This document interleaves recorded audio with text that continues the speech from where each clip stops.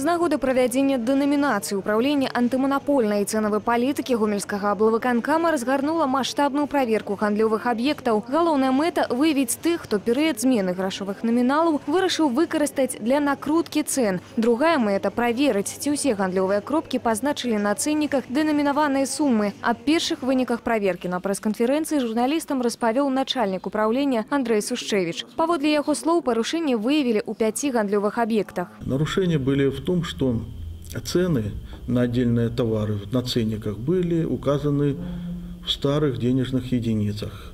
Это в денежных единицах образца 2000 года.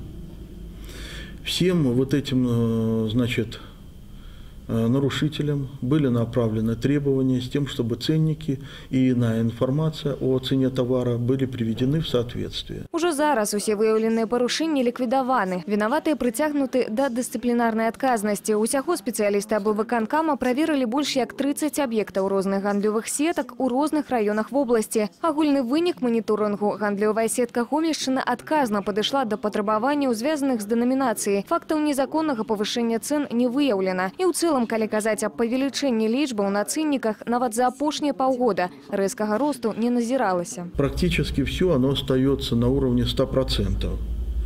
А по отдельным товарам даже где-то немножко и сбросилось, э, скажем так, рост цен. Допустим, в Житковичах вот э, чай черный байховый. Индекс роста составил 92,4%. То есть, наоборот, где-то снижение цены. За мінулы месяц у сярэднім па краіне інфляцыя склала 0,4%. Такія ж лічбы і ў гомельскай вобласці. Спецыялісты адзначаюць, што гэта даволі станоўчы паказчык. Дарэчы, кантроль за ўсталяваннем цэн і выкананнем патрабаванняў, звязаных з дэнамінацыяй, будзе працягвацца.